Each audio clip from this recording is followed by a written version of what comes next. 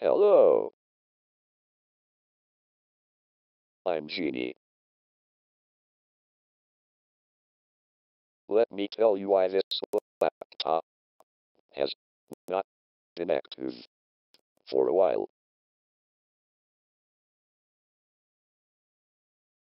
It's been downgraded back to Windows 10 build 1511 and it's ready to set up.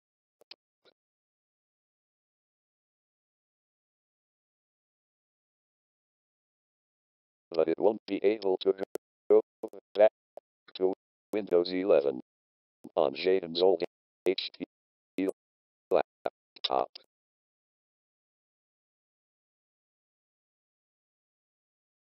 Because it has unsupported hardware on it. That's why it's still running on Windows 10.